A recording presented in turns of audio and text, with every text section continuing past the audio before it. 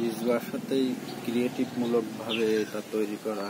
আর সাধারণত এটা হয়, এটা সাধারণত দুইটা পদ্ধতিতে লাগানো হচ্ছে, এটা দুইটা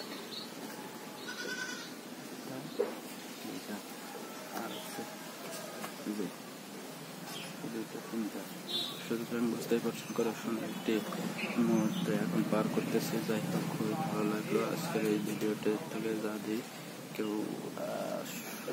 সুন্দর একটি মুহূর্ত।